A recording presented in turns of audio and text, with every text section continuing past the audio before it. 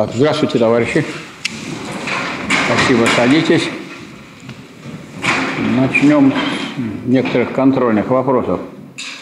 Значит, что такое государство мы усвоили? Кто-нибудь скажет, что такое государство? Для проверки. Организация господствующего класса. Ну, это вы как будто человек, это животное сказали, это правильно, но это не определение. У него этих организаций может тьма. А что партия господствующего класса не организации? Государство что такое?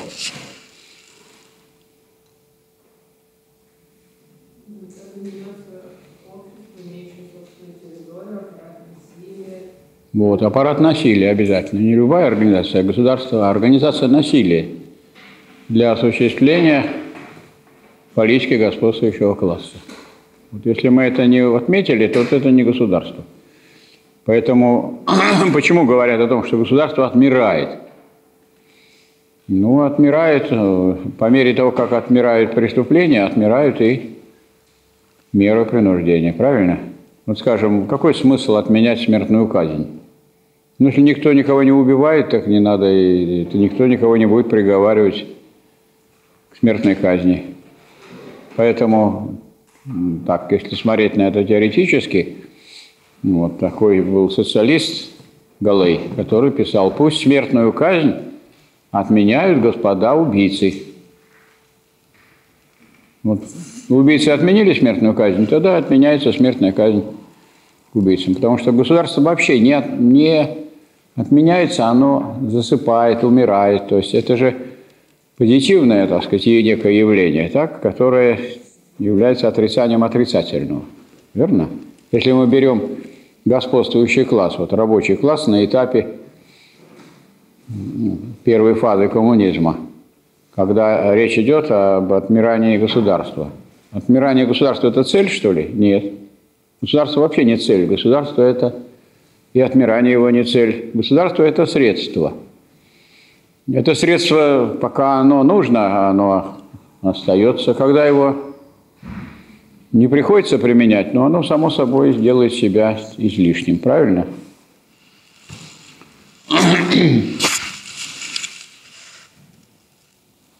Вот если все сами придут на экзамен без всякого принуждения, то не надо государству. А если сами не приходят, если их потом не отчисляют из университета, то приходят на экзамен. Это уже мера принуждения, правильно?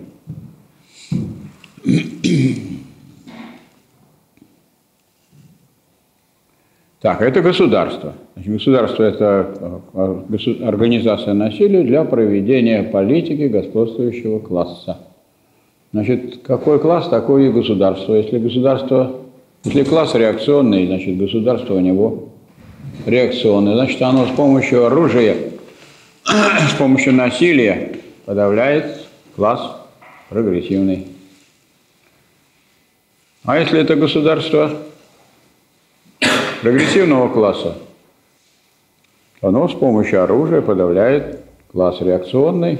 А если классов уже нет, оно подавляет выступления против прогресса, против интересов господствующего класса. Вот, скажем, рабочий класс в условиях социализма имеет интересы, которые состоят в ликвидации полного, в полном э, уничтожении классов ликвидации всякого социального неравенства. Поэтому оно подавляет все выступления, которые против этого идут. Правильно? Если есть какие-то выступления, связанные с торможением этого процесса, или выступления против процесса уничтожения класса, ну вот тогда государство пролетарское подавляет. Некоторых это очень не устраивает. У нас очень много оказалось людей, которые рады теперь, что теперь не подавляется социальное неравенство, а приветствуется. Правильно? Даже если есть выступление против богатства ну, в официальных государственных органах, э, то это выступление против богатства чиновников. Да? Дескать, вот Медведев такой секой, он на, на даче у одного капиталиста был. Медведев плохой, а тот капиталист хороший. Как? Как нет? Хороший. Разве у нас миллиардеры плохие? Они все хорошие. Ну, а если вы чиновник, так вы будьте добры, делайте то, что мне нужно. А чиновники по меркам общества ну, богатых, они тоже хотят стать богатыми. У нас какое общество, в котором какой принцип действует? Приоритет общественных интересов или личных?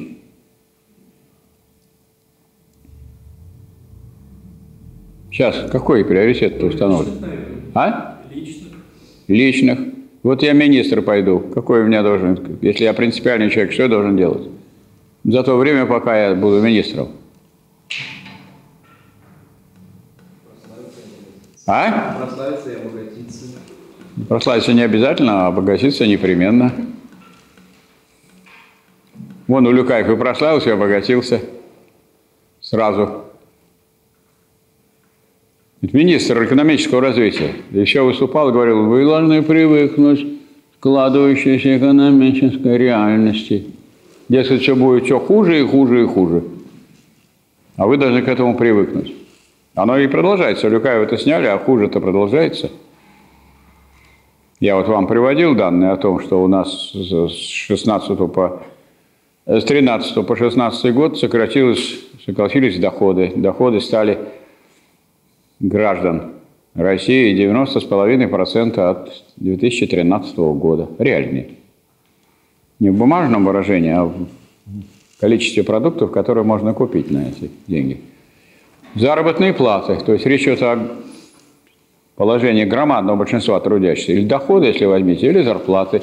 Зарплаты. Ну, доходы, они касаются и студентов, и пенсионеров, да, инвалидов. А если вы возьмете работающих заработная плата, значит, 92,5% от 2013 года. Значит, что идет? Ухудшение положения. А если идет ухудшение положения, плохо работает экономика или хорошо? Как сказать, вот если вы миллионер долларовый, и стали долларовым миллионером только вот за эти годы, это хорошо, значит, работает экономика? Непосредственно лично для меня, да. Ну, только непосредственно для вас. А у вас никого больше, а вас еще кто-то интересует? Но если вы принципиальный человек. Нет. Вот если принципиальный, то нет. Если вы беспринципный, вот как товарищ сидит, он беспринципный, он думает об интересах общества. Сейчас принцип-то другой. А у вас какой вот принцип? Вы чего его выдвигаете? Сейчас все должны думать о себе. Смотрите на конверты, там написано. Сначала имя, потом фамилия, потом дом, потом улица, потом город, потом страна. Цирк. Но это так и есть. Поэтому удивляться тому, что будет коррупция, ну, просто немыслимо. Как можно удивляться? То есть, поэтому, если это государство буржуазное, в нем, конечно, коррупция расцветает. Вот почему-то не, не, не сравнивают, например, можно ли сравнить коррупцию в буржуазном государстве с, с такими явлениями, которые были э, в советское время. Ну, если бы кто-то и был, то коррупционеры его бы расстреляли, и все на этом. Причем я вот помню, очень была бурная радость у Ельцина и всей компании в Верховном Совете, когда они приняли решение о том, что отменяется смертная казнь за экономические преступления, то есть вот за, за коррупцию, за воровство и прочее. Бурная радость, торжество. А что вы радуетесь? Вас вроде это касается. Значит, видимо, люди настроены были, что теперь вот начинается счастливый случай. И вот вы уже долларовый миллионер. Это вот если со мной вы еще разговариваете, уже хорошо. Могли бы и не разговаривать. И так далее. Так. Ну, это государство. Значит, вот теперь два класса, которые борются между собой, находятся в неодинаковом положении. Да? Один класс, рабочий класс, он лишен своего государства, у него нет никакого, никаких средств для других, для защиты своего положения. А буржуазия вооружена она двояко вооружена. Во-первых, она вооружена за счет того, что прямо государства есть машина насилия, орудие силы. Есть и армия, которая в нужный момент может быть пущена в ход, и есть внутренние войска. А если я богатый, я могу пойти и купить себе оружие. Правильно? У нас есть закон об оружии? Есть. Как вы думаете, эти законы об оружии, они представляют собой массовое вооружение народа или они представляют собой вооружение правящего класса. Почему? Ну, по какому принципу? По принципу богатства. Во-первых, оружие дорогое. Во-вторых, лицензия на получение оружия тоже дорогая. Третье, обучение тоже дорогое. За все надо заплатить, за первое, второе, за третье. И, так сказать, у вас будет оружие, пожалуйста. Или если вы юридическое, физическое лицо, то можете травматическое оружие получить, купить. Наставить кому-нибудь в глаз и выбить глаз. Оно, раз оно травматическое, такие травмы оно и наносит. Уродом будет тот человек, который, так сказать, вам попадется. И вы сколько раз видели уже, как показывают, выскакивает человек из автомобиля и стреляет того человека, который не понравился ему. Видели, наверное, многократно. Это, это реальность сегодняшнего дня. Вариант второй. Если вы Иванов Иван Иванович, то вы сделаете ИЧП, ООО с каким-нибудь названием. Ивановский. ООО Ивановское. И все. И, пожалуйста, получите в аренду оружие, только уже не травматическое, а настоящее. Ну, что значит в аренду? В аренду, значит, у вас должны быть шкафы, поддельное помещение, вот все как, как положено. И вам полиция выдаст в аренду в соответствии с законом об оружии. Она выдает только юридическим лицам, и потом у вас должна быть лицензия, вы должны быть обучены. Ну что значит обучены? Ну вот посидите на каких-то курсах, да постреляете из пистолета. Вот я проходил курс обучения на частного охранника. Занятия проведут по айкидо, чем хорошая эта борьба айкидо? Не надо, так сказать, там вот силу ломить. А вот вы уже что-то так сделали, надо довернуть его, чтобы он упал. И это будет айкидо. И потом я вот сколько на сборах не был, сколько я не попытался попасть. Из автомата я попал сразу, там вот в цель, на расстоянии полтора километра. А вот из пистолета сколько не стрелял, ничего не, никуда не попадал. Тогда мне с военной кафедры офицер говорит, Михаил Васильевич, ну, вот вам еще пять патронов. Я еще пять патронов. А я лекции читал на военной кафедре, мне нравились лекции. Ну, Михаил Васильевич, вот вам еще пять патронов. Я еще пострелял, говорит, значит, Михаил Васильевич, читайте лучше лекции. Но когда я был на курсах, там столько, там много было патронов, видимо-невидимо, я пристрелялся, оказывается, там надо еще решить, что под яблочко, а что по центру, еще и не поймешь, какой пистолет. Поэтому я уже начал в девятку попадать, а пришел такой качок. Пришел, давай пострелять, пух-пух-пух-пух. Мы пошли с ним, у меня в девятку, одна в десятку, а у него молоко. Нет, у него следов нету. Куда он стрелял, как он стрелял. То есть это все дело наживное. То есть для того, чтобы попадать, постреляться, потренироваться. Короче говоря, чье это дело, какого класса? Ну так вот жестко не проведена черта. А просто если деньги есть, Иван Петрович. Денег нет, паршивый сволочь. Вот и вся черта. Как у нас профессор Рященко говорил, очень просто объяснял. В чем, так сказать, особенность современного общества. Итак, один класс вооружен, другой не вооружен. Вот они ведут между ну, один больше, который не вооружен, другой меньше, как и всегда, со всеми эксплуататорскими классами, правда? Рабовладельцы, их мало, а рабов много. Значит, надо лишить этих мечей рабов, правда, чтобы они мечи только у владельцев. Помещиков много. Никто их в ограничении, во-первых, вооружение не ограничивает, а во-вторых, все помещики на службе. Они все на службе, и все они обучены военному делу, все они готовы. А крестьяне, какой? Все, крестьяне должны повиноваться, и все. В свободном буржуазном обществе оно потому оно свободное, что некоторые люди совсем от всего свободные. Есть не свободные люди от средств производства, это капиталисты. Вот у них фабрики, заводы, это Марокко невозможно какая. Пока не наймешь управляющего, когда разбогатеешь, это сколько намучаешься с этими фабриками, заводами с охраной, да с э, налаживанием этого имущества, налаживанием производства, да этих вот нанимать рабочих, вечно с ними проблемы, требуют больше зарплаты. Откуда у меня деньги? Денег нет. Острова покупаю, а тут вы со своей зарплатой. Короче говоря, Не совсем оно свободное. Вот капиталисты не свободны от, от фабрик, заводов, от средств производства, от земли. А есть свободные люди. Свободные люди пришел, ушел. То ваше дело поработал, уходи. Красота. Но, естественно, у них ничего в руках нету. Поэтому их тоже подавлять достаточно легко. Но, как показывает практика, если народ поднимается, его остановить невозможно. Невозможно. Никакими средствами. У меня был очень интересный разговор во время, или не во время, а перед митингом, который проводил товарищ Дружининский, он наш университет кончал, а потом стал работать с высшим образованием. Вот. И хорошую школу прошел борьбы, борьбы в буквальном смысле.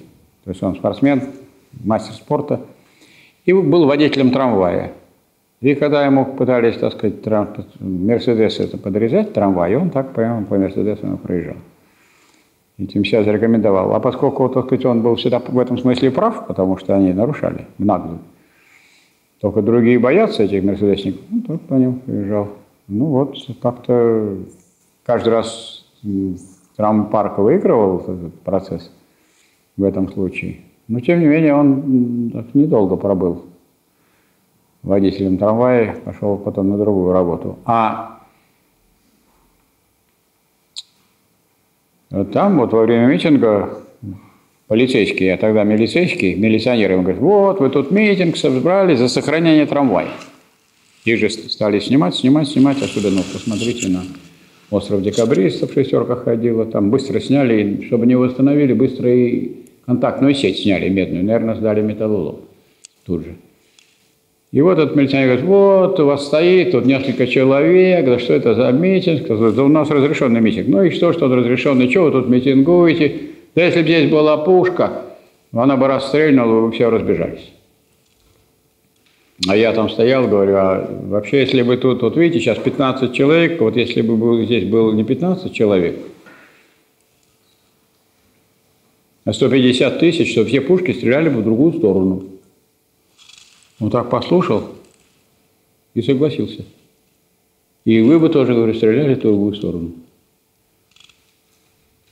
Понятное дело, что когда накипает э, в обществе, так сказать, волна, создается революционная ситуация, то по-другому себя ведут и соответствующие органы. Ну, как получилось в России во время империалистической войны, поскольку большевики за мир выступали, а временное правительство – гнало на убой. И вариант у вас такой, или сказать, вы сейчас идете на фронт, там вас убьют, или мы вас убьем за то, что вы не идете на фронт, выбирайте. То да лучше я вас убью тогда, чем я пойду на фронт. Еще там неизвестно, убьют нет, а тут точно я тут сохранюсь. Поэтому какое настроение было в войсках во время войны Первой мировой? Естественно, в поддержку большевиков. Какие-нибудь войска вы видели, чтобы поддерживали Временное правительство? Выступили войска. Нету таких войск. Нету. Петроградский гарнизон на чьей стороне стоял? На стороне большевиков. И дело не в большевиках, а дело в том, что большевики выражали интересы вот этих людей. Не эти люди приспосабливали свои действия к каким-то там программным документам какой-то партии. Вот, вот выглядит так классовая борьба. Вот как называется такая классовая борьба? Двух классов. Один класс имеет в руках государство, а другой не имеет. Как она называется, эта классовая борьба этих двух государств?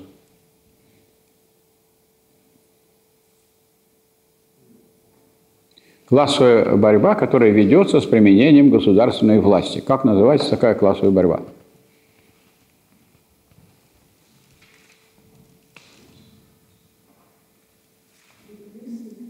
А?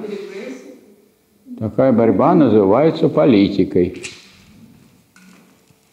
Политика – это классовая борьба за завоевание, удержание и осуществление государственной власти.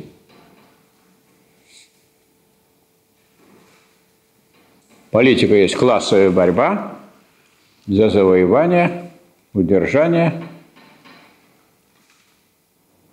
и осуществление государственной власти.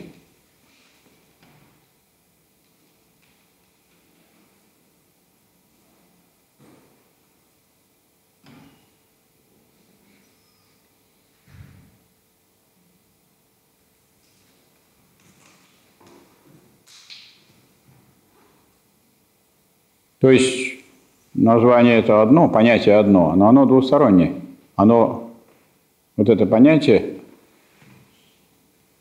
есть понятие о классовой борьбе с применением государственной власти, при котором одна из сторон применяет эту государственную власть. А в период революции другая сторона обретает государственную власть, а эту государственную власть устраняет прежнюю, старую.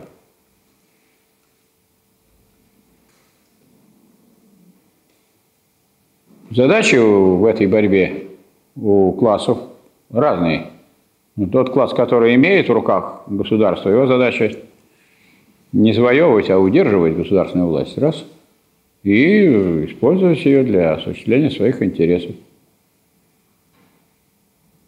Вот сейчас у нас какая самая задача предстоит? Скоро выборы президента, надо удержать государственную власть, да? Вот на, на это нацелена деятельность соответствующих органов. Кто-нибудь противостоит этому? Практически нет. Есть такие представители другого класса, которые бы выступали на президентских выборах в качестве кандидатов? Есть такие? Нет. А в чем состоит деятельность тех если это представители, какие-то кандидаты от партии, которые уже находятся в парламенте. Сколько получается за один голос в парламенте, э, за один голос, поданный на выборах, парламентские партии? 550 рублей. А? 550 рублей. Ну да, уж вы так хватанули. 150. Нет, на, надо 110, а сами же 5 лет заседают, 550. Что значит 5 лет? Они 5 получают... лет минус на каждый год дается 200 рублей. Ну, каждый год. 120 давали, сейчас 150. Ну, в год, да? Ну, понятно, в год. Поэтому, скажем, э, выдвинули своего кандидата, допустим, Жириновского, да? Он разговор разговаривает. Потом за него проголосовали, и это и есть поддержка. В соответствии с законом о политических партиях, партия, представленная в парламенте, получает 150 рублей за голос. Неважно, за что вы голосовали там, за Думу, в Думу избирали, или президента. Если избирали президента, это отдельно считается за эти голоса. Вот и складывайте, умножайте. Если проголосовало 10 миллионов за вас, за какого-то кандидата, неважно, получили вы, не получили вы, искомый результат. 10 миллионов умножайте на 150, и получаете миллиард пятьсот миллионов. Да? Очень даже и неплохо. Причем не так, чтобы вот вдруг государство давало деньги какой-то партии. Это Единая Россия, получите. А вот Справедливая Россия, получите. А вот ЛДПР, пожалуйста, и КПРФ, получите.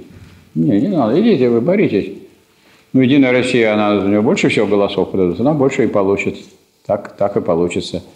Справедливая Россия – это подруга, Единая Россия тоже получит. Так? А ЛДПР ну, будем считать, что это друг Единой России, тоже получит. Можно считать, что это три головы одной партии. Правильно? Потому что никаких различий в голосовании в Думе между ними нет. А вот э, КПРФ голосует по-другому, но деньги получает также. Поэтому, казалось бы, с точки зрения ну вот, э, позиции коммунистической, как можно голосовать, за, выдвигать президента? Разве вы за президентскую власть или за советскую власть? Если вы за советскую власть, как вы за президента? А деньги? А деньги-то можно получить на выборах? Деньги получить. Так что две задачи, разные задачи в правящей партии задача удерживать и осуществлять государственную власть в своих интересах, а у оппозиционного класса задача готовиться к борьбе и бороться за завоевание государственной власти, а потом уже он будет удерживать и осуществлять. Это перспектива. Для одного это перспектива, для другого уже это реальность. Но для того, чтобы вести борьбу, что нужно? Нужно для того, чтобы вести борьбу, иметь авангард. Правильно? Каждый класс создает авангард. В чем его задача? Задача этого авангарда в том, чтобы научно выяснять интересы класса своего. Во-вторых, вносить сознание интересов этого класса в класс. Ну, вот Ленин, например, специально писал, что э, рабочий класс самостоятельно не в состоянии выработать пролетарскую идеологию. Почему? Он заинтересован в этих идеях, но эти идеи являются результатом научной работы, научной разработки. Поэтому без интеллигентов, которые выражали бы интересы рабочего класса, он не может выработать своей идеологии. А, ну а буржуазия может выработать, она тоже свои интересы не очень хорошо понимает. Ей надо деньги, деньги делать, срочно деньги, быстро. Какие интересы, какая борьба. Поэтому она поручает представителям интеллигенции выражать ее интересы и. И вносить потом эти интересы в класс. То есть вторая задача, после того, как вы научно выразили интересы класса, внесение интересов класса в класс. Это задача пропаганды, правильно? Пропаганда, внесение интересов класса в класс, сознание класса. Третья задача – организация борьбы этого класса за его интересы. Организация борьбы рабочего класса за его интересы.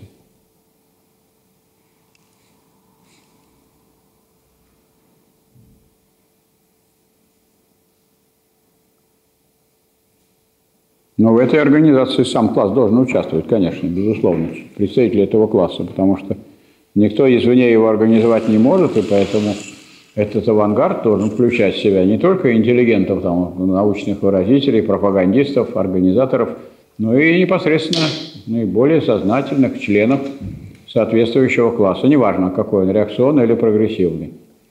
Если реакционный класс, так он должен осознавать свои реакционные интересы и за них и бороться если он хочет остаться этим классом. Как называется такой авангард класса, который научно выясняет интересы класса, вносит в класс сознание его интересов и организует борьбу класса за его интересы. Политическая, не просто партия, а политическая партия. А партия можно, хорошую партию может составить один человек, правильно? Вполне партия. Можно в шахматы партию сыграть тоже. Политическая партия. Политическая партия. Но если тут речь идет о политике, то это политическая партия. Вот два класса борются, у них есть, соответственно, авангарды, и эти авангарды тоже борются. Эти авангарды, для того, чтобы вообще могла развернуться эта классовая борьба, или рано или поздно совершится революция – Э, эти, эта борьба разворачивается прежде всего на каком поле? На поле идейном. Правильно? На поле идейном. На поле идейном это включает в себя две формы борьбы. Теоретическую борьбу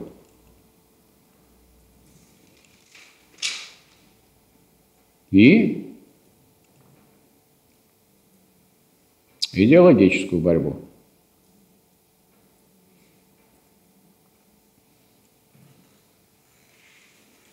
на идейном фронте.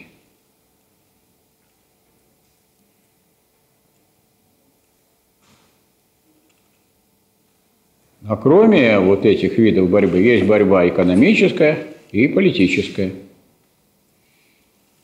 В целом политическая. А здесь идеологическая, теоретическая и идеологическая. Идеологическая, кроме теоретической. Потому что теоретическая входит, конечно, в идеологическую борьбу, но только мы тут смотрим выработку соответствующих идей. Это дело узкого круга людей. И эта борьба не зависит, в общем-то, от количества сил той или иной стороны, правильно? Скажем, вот буржуазия сильна, а Маркс сильнее в плане теоретическом, правильно? Буржуазия очень сильна, а Ленин сильнее. Поэтому, когда начинают сами себя запугивать, говорят, вот у них столько средств массовой информации, у них столько книг, столько у них издательств, столько всего. Все, что написано, есть такой закон общесоциологический. Все, что написано, все издается. Все. Почему? Энгельс это объяснял. Когда в силу отставания сознания от бытия, материального бытия, идея приходит тогда, когда для нее уже созданы, для ее осуществления созданы материальные условия, или они находятся в процессе становления. В силу отставания сознания от бытия идея приходит тогда, возникает, когда для ее осуществления уже есть материальные условия, или они находятся в процессе становления. Последнее означает, что немножко надо еще и подсуетиться чуть-чуть. Не просто, не, не просто вырабатывать идеи и лежать на диване, как Обломов, а нужно поработать над этим. Ну, путешествие из Петербурга в Москву опубликовано же было? Опубликовано. Все, что хотел сказать Герцен, было опубликовано. Опубликовано. Чернышевский. Что не опубликовано Чернышевского? Вот там он и на каторге был, и преследовали его, но все же опубликовал. Все, что написано Чернышевском. Вот Ленин в тюрьме просидел один год на шпалерной. А потом в ссылку. Так он в ссылке написал развитие капитализма в России опубликовано же было. Как только написал, и опубликовано было развитие капитализма в России. Как вы не опубликуете при капитализме развитие капитализма в России? Или вот у нас капитализм приходит, товарищ приходит ну, с книгу «Капитал». Ну как вы, как вы можете не взять книгу «Капитал» при капитализме? Я думаю, никак невозможно это остановить. И сейчас ее печатают. Почем сейчас том капитала, знаете? Полторы тысячи рублей.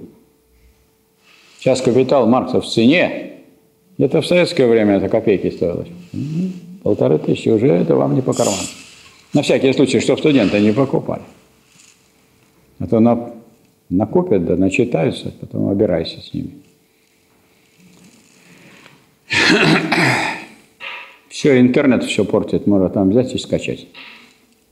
Все собрание Маркса Энгельса есть в интернете, там Ленина есть, Гегеля есть, нет проблем.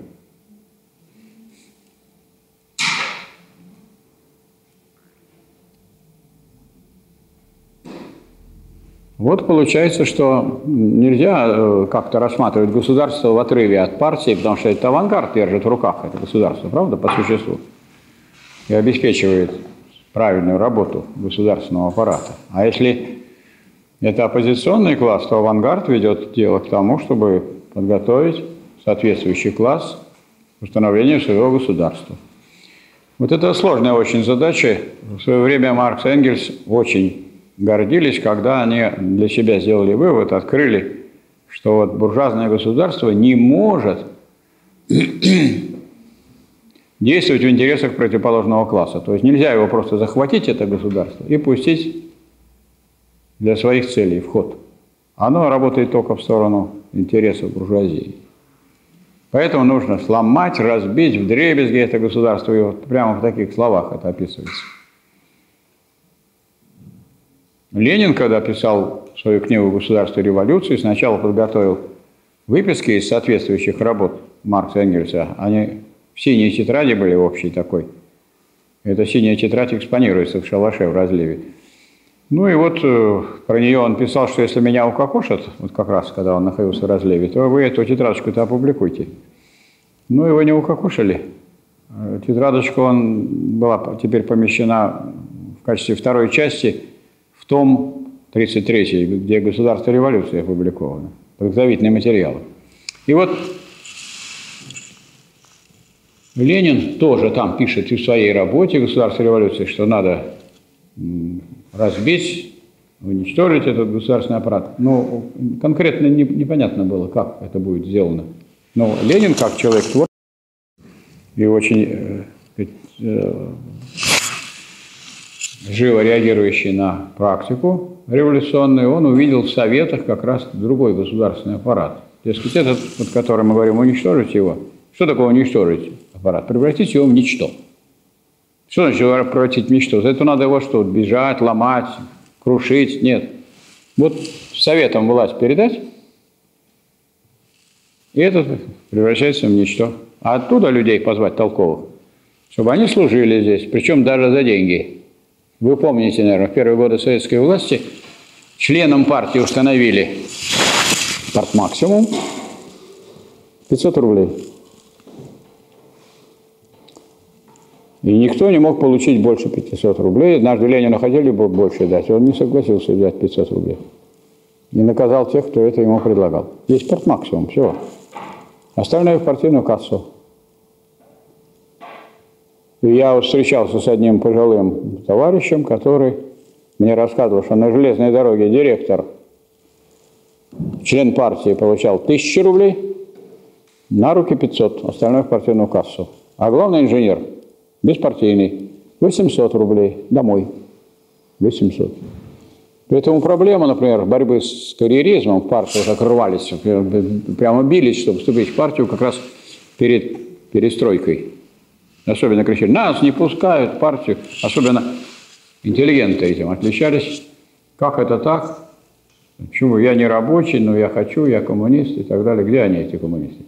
Рвались, почему? Какую-то увидели дорожку продвижения наверх. Ну, если надо отдавать сверх этой суммы, нет. Я, поскольку участвовал э, на съезде, в работе съезда Компартии Российской Федерации в Кремле и выступал там в 90-м году, у меня была возможность вот предложить такую загадку и новоизбранным членам ЦК КП РСФСР. Они были новоизбраны, нету ни, ни членов Политбюро, ни секретарей, ни одного. А есть вот сидят в аудитории. Я им от, э, от, предложил такую задачу, говорю, как вы, давайте проголосуем в порядке выяснения позиции. Кто за то, чтобы ввести парт максимум? Вот вы скоро, так сказать, организуетесь. Ну и устроил я такое голосование. И как вы думаете, за что проголосовало большинство? Чтобы парт максимум не вводить. Если оно тогда проголосовало, что вы хотите от КПРФ сейчас? А разговоры КПРФ иногда ведет про парт максимум. Иногда, вот, перед, перед выборами. Но после выборов сразу забывает.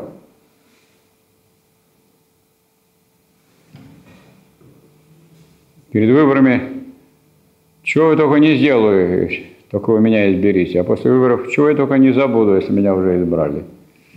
Разве запомнишь вообще все упомнишь? Все упомнить невозможно.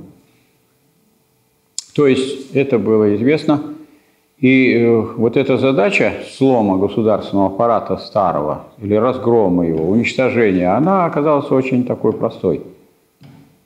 Советы берите власть на местах все.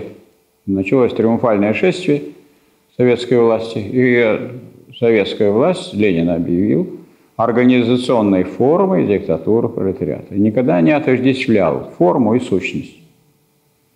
Сущность диктатуры пролетариата, а форма – советская власть. Всякая форма имеет сущность. Это говорилось Лениным в докладе на Первом Конгрессе Коминтерна, что Советы представляют собой организационную форму диктатура пролетариата. И это в его брошюре очередные задачи советской власти.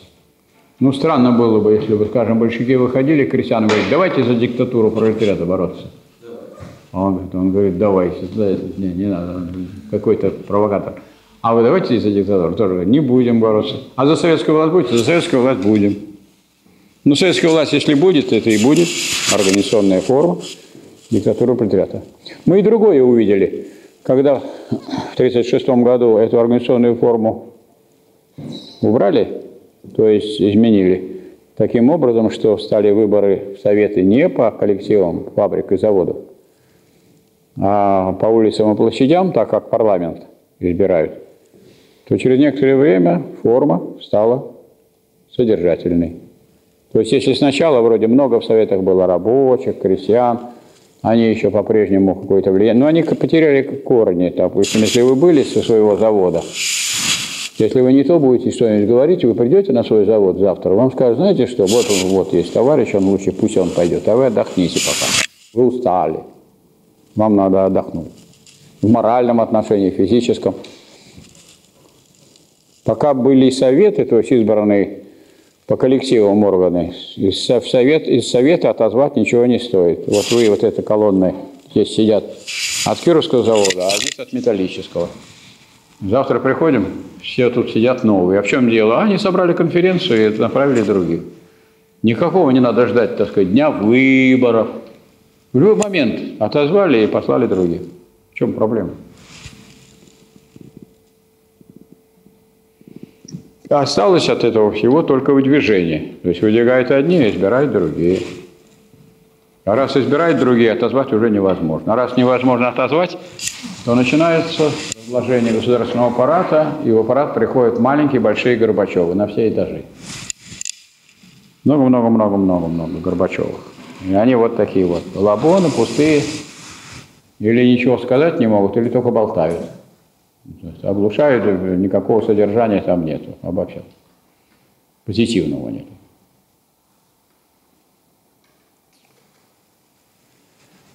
Ну вот, теперь, значит, для того, чтобы партия была политической партией, она должна строго руководствоваться какой? Классовой своей идеологией. Да? А что такое идеология?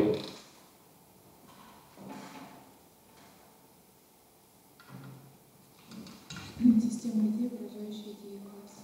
Да, система идей, выражающая интересы класса. Самое легче всего выразить интересы буржуазии. Чем богаче буржуазия, тем лучше. Правильно? А вот интересы рабочего класса это, это сложно выразить. И поэтому между такими теоретиками, как Плеханов и Ленин, при разработке первой программы партии, программной комиссии была дискуссия. Плеханов написал, что вот цель социалистического производства – удовлетворение нужд общества. А Ленин в замечаниях на этот проект программы Плеханова можно посмотреть по шестому тому полного собрания сочинений Ленина. Э, Ленин говорит, такую-то организацию еще и тресты могут дать. А надо производство развивать для обеспечения полного благосостояния и свободного всестороннего развития всех членов общества. И вот в таком виде оно вошло в программу большевистскую, ну, даже в программу РСДРП. Меньшевики другой программы ведь не имели. Потом оно вошло в программу РКПБ на восьмом съезде в 19 году и, считайте, просуществовало до 1961 года, пока при Хрущеве, из подачи Хрущева на 22 съезде изменили программу и выбросили оттуда цель социализма. И записали туда то, что похоже на то, что говорил Плеханов. Производство развивается, удовлетворение все более полного, удовлетворение растущих материальных и духовных потребностей советских людей. Пьешь? Нет, не пить. Ну, не, не надо пить. Он пьет, он пусть все более полно удовлетворяет свою потребность. Наркотики потребляешь? Потребляй. Все более полно. Вон там стоят около факультета у нас курники, которые курят. Это что же наркотик? В чем выражается, что он наркотик? Что бросить легко, но потом надо опять доставать. И опять, ну опять легко, опять доставать. То есть легко, трудно освободиться. Вроде большого вреда не приносит, поэтому никого не пугает, там разрисованные легкие на соответствующих сказать, картинках. Но э, принцип вообще так сказать, э, наркотика состоит в том, что наркотик – это не просто вредное вещество. Вредного много чего. Если я буду рассказывать, чего не надо есть или пить, с ума зайдете. Боярышник, кстати, не пейте.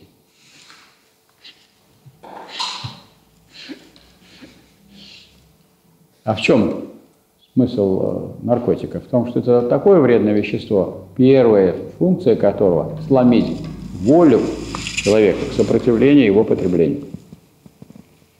Таких не так много. Это вот либо их выращивают, либо их изобретают, искусственно делают синтетические наркотики, да? К ним вполне относятся и водка, алкоголь, и, и курево, потому что ну, человек не может бросить. Вот. Человек взрослый, волевой, не может бросить. И понимает, что это ни к чему, и не нужно.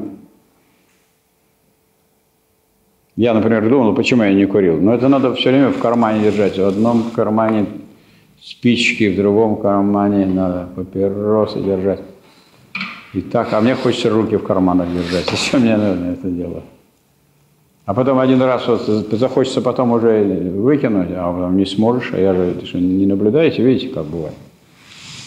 Поэтому от этого не всякий может освободиться. Очень волевые люди могут освободиться да, от таких элементарных наркотиков, как водка и, и курево.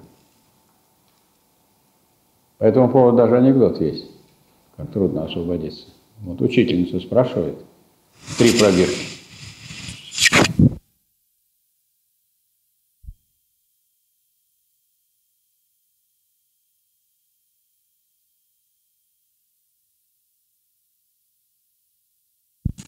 Бензин, в другой пробирке спирт, в третьей пробирке вода. Вот учительница бросает туда червячка, ту проверку, где никотин. Но червячок потрепыхался, потрепыхался и затих во вторую, где спирт то же самое, тык-тык-тык-тык, и затих. Ну и в третью пробирку, где вода, а там червячок продолжает трепыхаться, хоть бы хны. Ну, она спрашивает, Вовочка, дети Скажите, какой вывод вы сделали? Вовочка поднимает руку, говорит, Вера Васильевна, я сделал такой вывод. Надо пить и курить, и тогда черви в организме никогда не заведутся. Ну, видимо, этим руководствуются наши товарищи, коллеги, которые вот курят, потому что у нас, может, заведутся, они вот там постоят на свежем воздухе, как выйдут, где побольше кислорода, там курить начинают. Наверное, чтобы, а у вас там что, не никотин или спирт? Вода? Все говорят, что вода. Верю.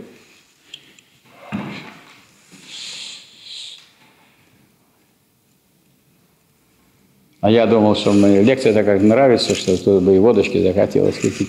А вы, конечно, ну что вы без шутки, ну как вот вода? Сказали, что коньяк белый. Так, значит, что получается у нас вами? Получается, что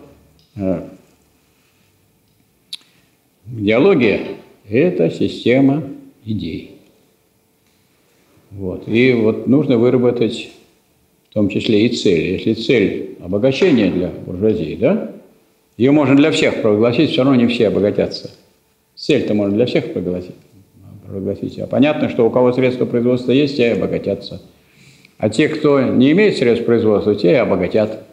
А цель одна – обогащение. А кого – это потом выяснится по ходу дела – а вот э, цель производства вот таким образом была сформулирована Лениным и Плехановым. В итоге совместно и си, на съезде принято было. И она состоит из двух частей. Цель – это обеспечение полного благосостояния. Вот вам стало хорошее у вас условие. И на этом, допустим, ставим точку. А не бывает такое, что условия хорошие, человек деградирует в этих условиях? Бывает. Грустит, умирает, и все, пропадает – Лучше, говорит, у меня хуже были условия, они бы меня стимулировали, в общем. Это недостаточно. Поэтому в цель поставлена и само свободное всестороннее развитие. Чье? Мое? Да, я буду развиваться, вы отдыхайте пока. Или всех членов общества. И у Ленина курсивом это записано. А вы можете прочитать ли, развитие личности. Какой личности? Или развитие человека – цель социализма. Какого человека? Даже по этому поводу анекдот есть, как Чукча приехал в заседание Верховного Совета, его спрашивают, ну что? Да все во имя человека, все для блага человека. Так это э, мы, мы слышали уже это. Вы слышали, а я видел того человека. А речь-то идет о чем? У меня была такая характерная встреча с одним профсоюзником с Урала.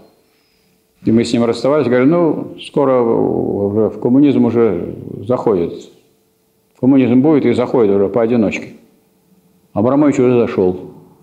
Так на посмотрел. И в разное время. То есть, на самом деле, в цели должно быть записано обеспечение полного благосостояния, свободного всестороннего развития всех членов общества. Если не всех, то это не та цель. Интересная есть работа у Сталина анархизм и социализм в первом томе. В этой работе Сталин говорит, в чем противоположность позиции э, анархистов и коммунистов. Анархисты говорят, все для личности. Освободим личность, и будет свободная масса. А мы говорим, все для массы. Освободим массу, и, так будет, и тогда будет свободна и каждая личность. И, конечно, второе верно, а первое, вот это вот освободим личность, сводится к тому, что некоторые личности освобождаются от обязанностей перед обществом, и на этом их участие в общественной жизни и деятельности заканчивается. И дальше они уже вам не по пути. И вы им не по пути. Ну, такое вот резкое противопоставление, то есть изображение двух позиций как противоположных позиций. В соответствии с тем, что идеи э, выражают, в данном случае система идей, идеологии выражает интересы соответствующих классов, раз классы противоположны, то, следовательно, экономические интересы противоположны, то, следовательно, можно сделать вывод, что в буржуазном обществе какие существуют идеологии? Две. Две последовательные идеологии. Одна идея – идеология буржуазная, другая – идеология пролетарская, идеология рабочего класса. А есть еще обширный класс – мелкие буржуа. Это мелкие хозяйчики, работающие на рынок. А у него какая идеология? Ну, вот каждый хозяйчик, он себе на уме. Сегодня он за это, завтра он за то, он колеблющийся элемент. Почему он колеблющийся? Потому что у него положение противоречивое. Он хозяин, а как хозяин хочет стать настоящим хозяином. Прикупить землицы, средств производства и нанять вот таких товарищей. С одной стороны. А с другой стороны, он понимает, что шансов-то нет никаких, что он прикупит и что он разбогатеет. А скорее он обеднеет и станет пролетарием, как Иванов. Надо с Ивановым дружить. Потому что, скорее всего, буду я как Иванов, а не как Петров, который стал капиталистом. Поэтому Какова э, идеология мелкого буржуа, класса мелких буржуа? Она непоследовательная, кашеобразная. Поэтому вот существует у нас буржуазных партий, ну, будем считать, три или одна тройная? Трехглавый дракон. Единая, справедливая и ЛДПР. И а в Америке там двуглавый дракон. Республиканская или демократическая. Вы как хотите, чтобы демократическая партия помогала буржуазии эксплуатировать народ или республиканская? Выбирайте.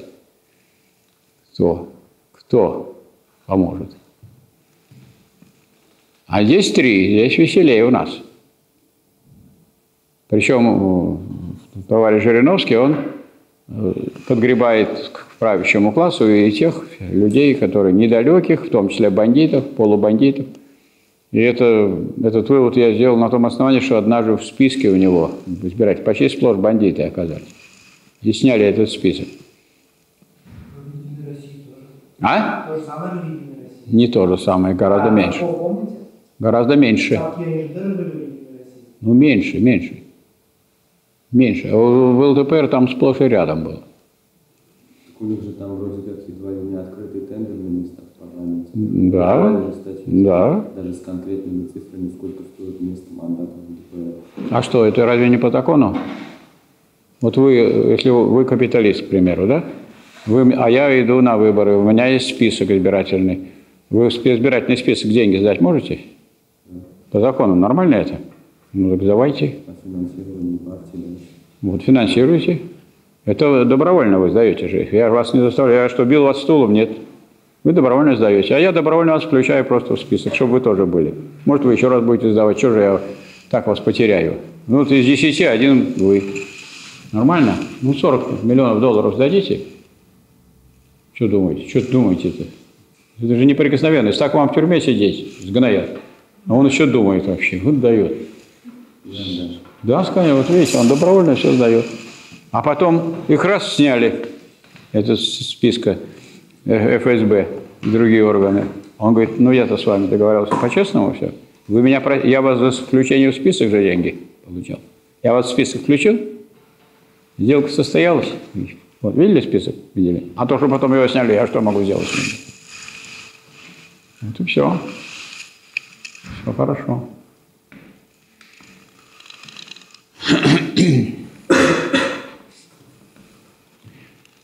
Ну вот поэтому третья идеология, пишет Ленин в работе, что делать, не выработало человечество.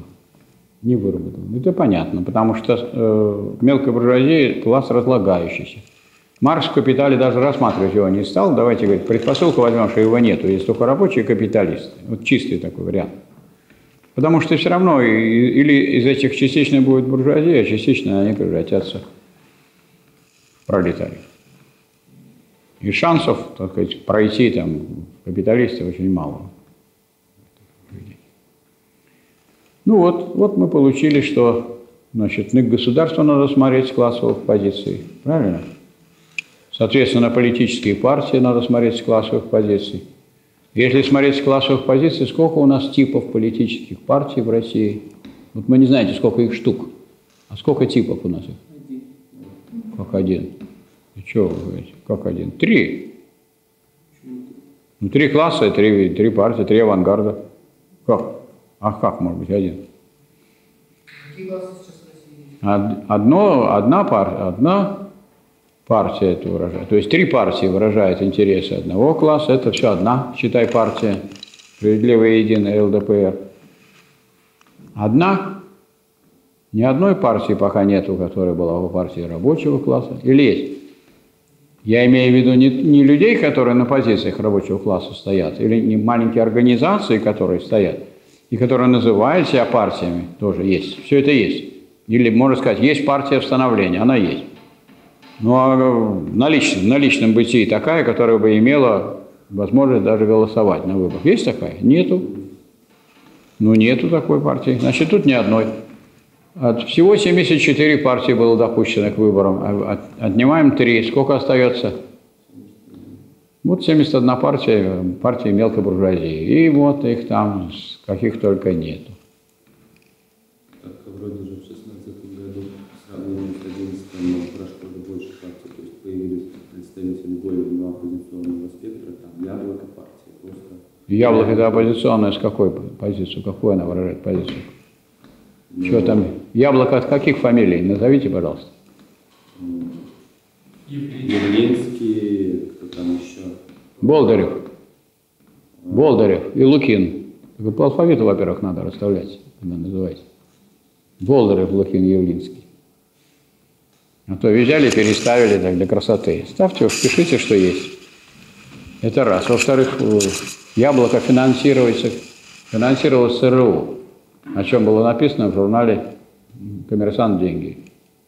Какое оппозиционное? Оппозиционное в том смысле, что вот американцы имели бы, предпочли бы иметь другое правительство, как ельцинское. Это разве оппозиционное? Оппозиционное это что такое на самом деле? Противоположный класс. Она что, рабочего класса, что ли, партия? нет. Нет. Но по своим а, предвыборным заявлениям она И по предвыборным заявлениям ничего нет от позиции рабочего класса. Или что-то есть? Что вы такое смотрели? Дайте мне прочитать. А, Нет, ну я, я имею в виду э, критику действующей партии власти, что они одни из немногих, кто ну, открыто выступают против тех или иных решений. Я открыто выступаю против вообще всех ваших выступлений. Это безобразие, безобразие ваше выступление. И что? Ну что, так, ну это политика же. В политике как еще делается? Они должны меняться. Вот смотрите, республиканская партия и демократическая время от времени меняют друг друга. Это хорошо же. Вам надоело за республиканскую, вот давайте за демократическую. Надоело за демократическую, давай за американскую, за республиканскую. Что такое оппозиционная партия? Это партия, которая выражает интересы какого класса? Рабочего Противоположного, то есть рабочего. Есть? Что, яблоко, что ли? в парламенте нет. А и не в парламенте нет. Пока нету. Вот э, хорошо было бы сказать, вот у нас такая партия, за которой класс идет. Если это авангард. Авангард класса, это значит класс за ним идет. А если есть такая группа, которая последовательно выражает интересы рабочего класса, борется за интересы рабочего, а класс пока за ней не идет, ну, э, мало идет. Это значит, она авангард или нет? Но авангард нельзя определять вот внутри себя. Авангард по отношению к классу. Если класс еще не идет, есть такой, такая партия, за которой бы шел рабочий класс? Нету. Ну так и нету оппозиционной партии. Весь разговор. Хоть и яблоко, хоть груша, хоть слива. Нету. А зачем тогда во всех принципе понадобилось это расширение, ну, пускать новые партии в парламент в 16 Как зачем? Для разнообразия. У вас было от 50 тысяч. э, можно было зарегистрировать партию, а теперь от 500 человек. Видите разница какая? Вы требовали, да? Ваши требования удовлетворены. Вот отсюда, значит, значит, власть у нас демократическая, значит, надо за нее голосовать. Логично? Ну. А потом вы скажете, слишком много партий. Хорошо, сделаем. Будет не 500 человек сейчас, а 1000 для того, чтобы организовать партию. Опять вы требовали от власти, власть пошла вам навстречу. Народная власть? Ну вот. А вот как для чего? Как для чего? А для чего? А как ведется выборная кампания? Надо какие-то делать уступки. Вот, например, товарищ Медведев недавно, ввиду надвигающихся кампаний в связи с необходимостью удержания государственной власти, подписал распоряжение о том, что надо составить закон о том, чтобы зарплата была на уровне прожиточного минимума. Слышали, да? Он сказал, что э, это будет в течение трех-пяти лет.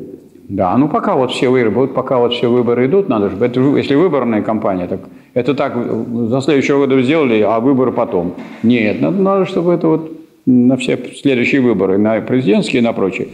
А что про это можно сказать? А вы читали Трудовой кодекс? А там написано, в, а там написано уже в статье, что зарплата не должна быть не ниже прожиточного минимума.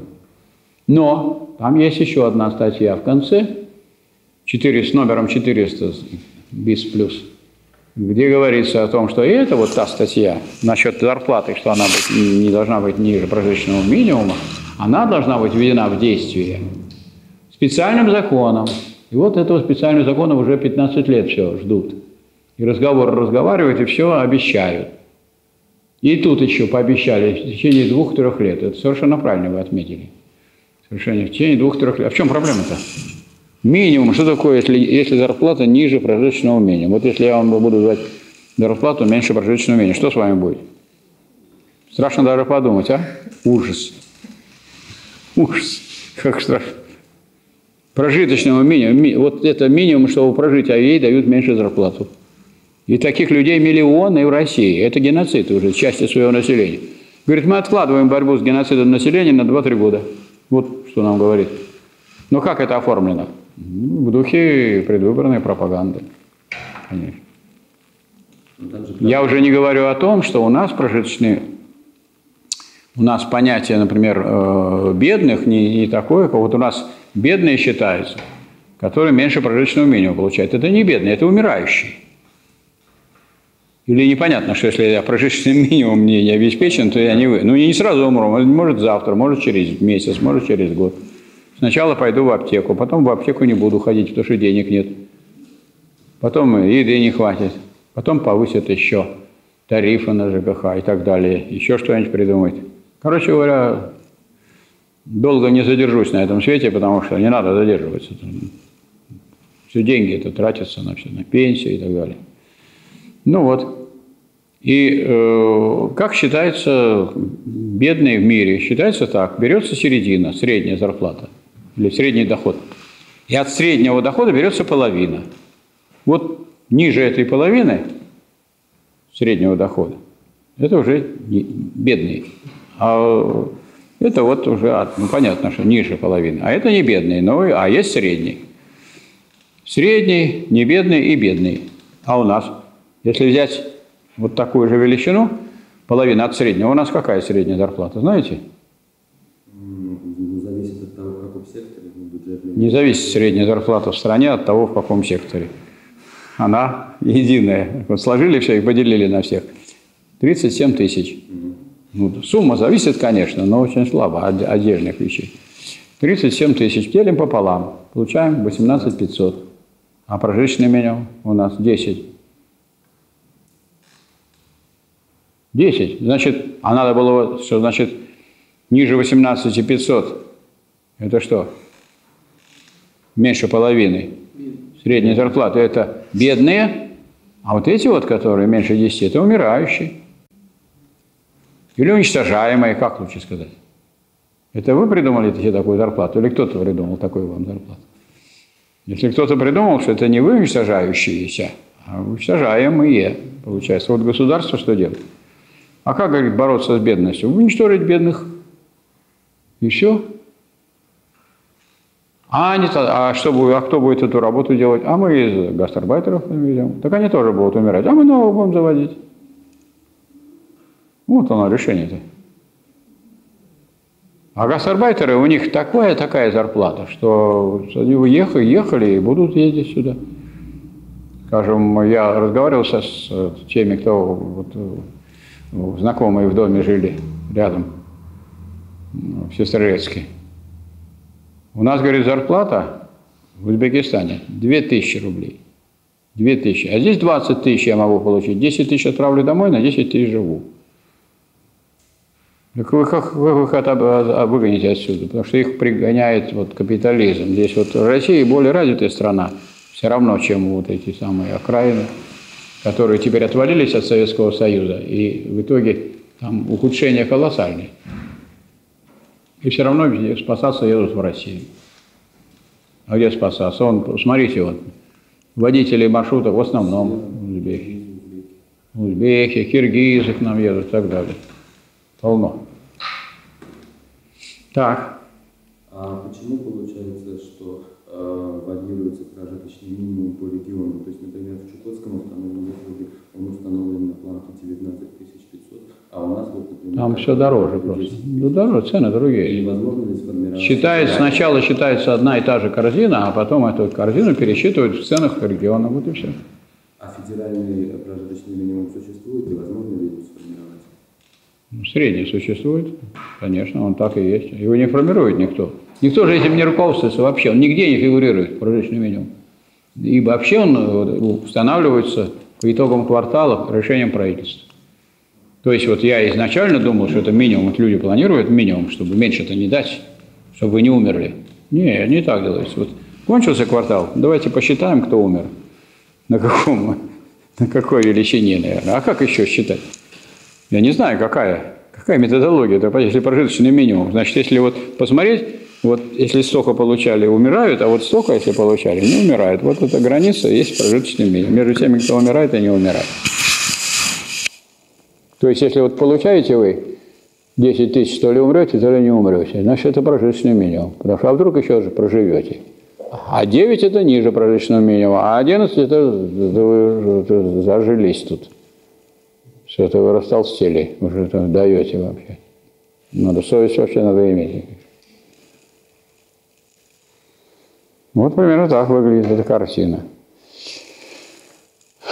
Теперь, э, значит, вот мы получили такие классовые характеристики таких организаций, как государство, и таких понятий, как политика и идеология. А давайте возьмем такое, такое понятие, которое иногда выступает как бесклассовое, но на самом деле оно тоже классовое. Право. Что это? Введенный в закон воля господствующего класса. Право есть возведенный в закон воля господствующего класса. А что значит закон? Вам понятно? Если понятно, объясните. Если непонятно, давайте я объясню. Принято, А? общепринято. Что значит общепринятое? Общепринято не сорить. И что это право? А? Что значит гарантируется государством? У нас, когда вот пишут на стенке, что охраняется государством, это значит точно его не охраняют. Вот могу вам привести пример. Вот вы на Волховский, когда выходите, идете там на Васильевский остров, там стоит здание 1700 там какого-то года, Петровское. На нем раньше табличка была, охраняется государством. Потом те, которые его приватизировали, эту табличку сняли отремонтировали, и будьте здоровы. В чем это? Как, что значит гарантируется государство?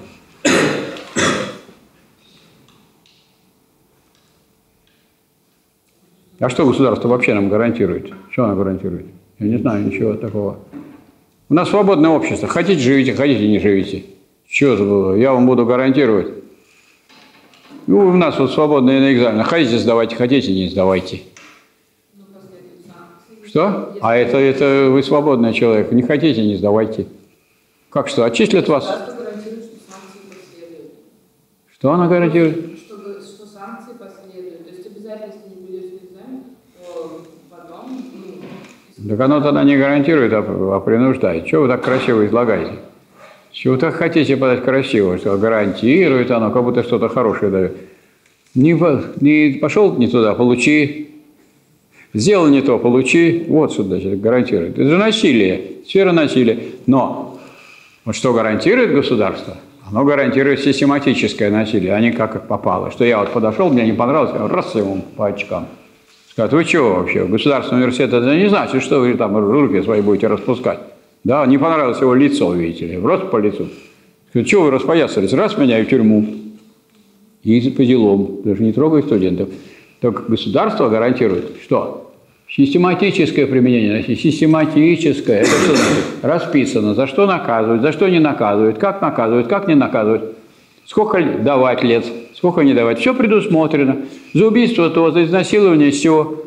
За зверское убийство все равно ничего не сделают больше, чем пожизненное заключение. Пусть родственники 30, по 30 тысяч долларов платят каждый месяц и оплачивают его существование в течение 30 лет. Но все расписано. Вот это все расписание, как называется? За что давать? Какое наказание? И называется что? Правовые нормы. Вот.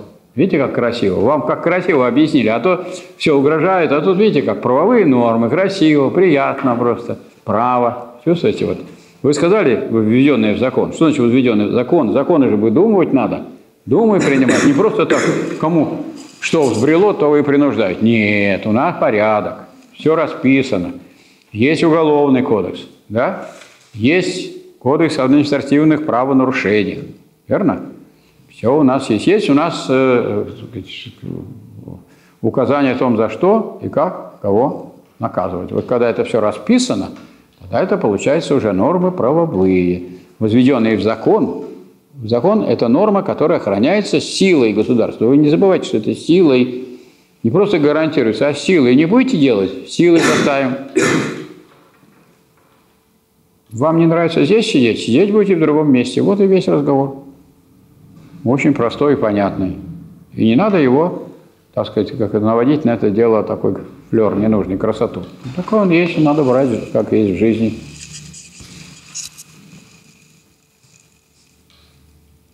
Ну, вот можно, у него есть дефекты, например, если раньше я вышел из, с института, и на меня напали и убили, значит, его к смертной казни приговорят. А теперь я выйду, он меня убьет, а его точно к смертной казни не приговорят. Так? То есть тот, кто намечает меня убить, заранее знает, что он не умрет. Чувствуете, как здорово? Демократизировано. И это правильно, потому что меня все равно уже нет, а он живой. А живой надо хранить, оберегать особенно убийц, насильников, грабителей. Правильно? Страдальцев. У нас такая дискуссия была на кафедре философии и культурологии, когда я в ВБК работал. И вот товарищ Уваров, заведующий кафедрой, говорит, ну вот говорят, что вот возможно злоупотребление в случае применения смертной казни. Возможно. Ну, такого не надо применять-то быстро, не торопиться не надо, пусть посидит лет 10, а применя... в действие приводить исполнение наказания можно и через 10 лет, правильно? Ну, за 10 лет вам хватит для проверки, перепроверки? Хорошо. Никто ведь не торопится никуда. Наказание же имеет не, не, в том задача, чтобы его, этого человека, так сказать, подвергнуть смертной казни, а в том, чтобы меньше было людей, которые поднимают руку на людей других. У нас заслуженный деятель науки Сагатовский, Валерий Николаевич, он статью написал по, это, по поводу смертной казни, что говорит, нигде в животном мире просто так не нападают животные, ну, кроме как с ума сошли, если бешеные какие-то лисы там, а ну, просто потому, что нужно им есть. Они, волки съедают зайцев, естественно. Птица съедает а мошек, комаров – не от кровожадности. Эти синицы особенно этим отличаются. Почему они потом сало едят хорошо? Привыкли к мясной пище. И зимой они с удовольствием сало клюют. Но они не кровожадные, а просто они такие есть по природе. А если в природе кто-то нападает, это, это вообще ненормально. Поэтому человек, который убивает другого человека, это ненормально, беспричинно. Если государство не стоит на позиции «не убей», во-первых, когда идет война, так, ну, без этого не обойдешься, без того, чтобы не убить того, кто напал. Иначе он тебя убьет. Другого выхода нет.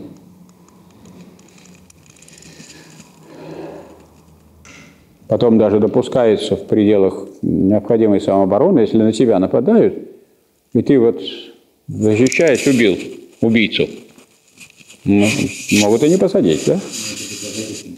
А? Ну, только раз тяжело, так и... Ну, ну, это человек, так сказать, это спасался, уже доказано, что он на самом деле... На него напали. И тем не менее, значит, все, вот так доказывать. Докажите, что это вот, может быть, надо было просто ему, его посмешить, он бы от хохота умер. А вы взяли его и стукнули так, что он умер. То есть, а для государства выходит, это исключено, чтобы государство казнило э, убийц, насильников. Ну вот 100 человек бистовских маньяк убил. 100. Знакомых приглашал пойти погулять в парк, в лесопарк. Хорошо же? Знакомых. Брал с собой молоток и бутылку. Молотком разбивал череп, бутылку туда для верности. И влюб. Человек растворялся. Первый раз вот он убил одного, и 9 лет никого не убивал. Потом посмотрел, все хорошо. Проверено. 9 лет прошло, вот он как раз показал. Вот 9 лет прошло, проверяли, как. Найдут, не найдут, как. Через 9 лет он стал убивать систематически много.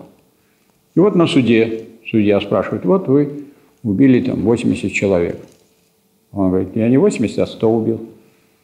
Судья говорит, не знаю, у меня по процессу проходит 80. А это, вы в другом месте можете это говорить. Ну вот скажите, зачем вы это делали? Он говорит, я себя лучше чувствую, когда убил. И что? И где он? Он же там, где живет, мы его содержим, ваши родители его содержат. Комсомольская правда писала про место, где содержатся эти пожизненно сидящие которые детей убили, там, женщин убили жесточайшим образом. И серийные всякие маньяки, их содержат. И на это 30 тысяч долларов нужно выделить. Вот мы кормим эту всю братью. Зачем? Бывают судебные ошибки через 30 А? Бывают же судебные ошибки через 30 лет судей. Вот наш заведующий э, Уваров Михаил Семенович говорит, раз бывают судебные ошибки – для разбора судебных ошибок вот вам 10 лет. Были же случаи, что через 30 лет. Они являются судебной, не судебной, а государственной ошибкой, что убийц охраняют, и вы сейчас хотите их тоже сохранить. Нет. Это небольшая... Вот если ошибка бывает в любом деле, из этого какой вывод надо сделать? Будут ошибки в проведении правильной линии или вообще неправильная будет линия? Надо выбрать линию в этом вопросе, как во всех других выйти, найти решение, будем так сказать, правильным путем идти или неверным. Если при движении по правильному пути будут ошибки, это не основание идти по неправильному пути. У вас какой другой путь? Охранять убийц. Я понял. Есть идеологи убийц и защитников, насильников. Они вот могут присутствовать у нас. Вы оплаченный идеолог или поэтому? Вот, ну, спасибо, это хоть. Я люблю юмористично настроенных. Это правильно в полемике. Я бы так ответил, как и вы. Молодец. Вот. Это я понимаю, все это сразу сработает. Короче говоря, вот, э, а методология этого вопроса такова. Я об этом уже говорил, возвращаясь. Вот если хотите, с этим вы поспорите, что пусть смертную казнь отменяют господа убийцы. Как только не будут убивать, вот этот вопрос надо решить. Вот. Пусть решают это сами убийцы. Когда они знать будут, что они подвергнутся наказанию. Вот хотите, чтобы не было смертной казни, значит, надо, чтобы не было убийцы, все. Нет же задачи у государства применять какие-то меры как самоцели. Не, меры эти положительные только как отрицание отрицание. Сами по себе, само по себе насилие, это не наша ни цель, ни задача, правильно? Ни в коем случае. Ни в коем случае. И причем надо понимать, что смертная казнь не остановит э, эти самые убийства так, так, чтобы их вообще не было. То есть она просто резко сократит количество убийств.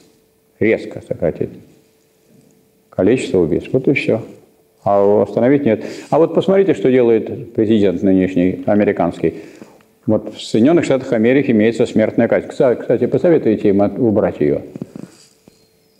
Им посоветуйте. Вот в России посоветовали уже. У нас вот развивается терроризм вовсю и убийство. Вот у нас только что убили сколько людей в Ленинграде. Вы посоветуете, пускай уберут в Соединенных Штатах Америки, пускай в Штатах уберут, там тоже могут быть ошибки.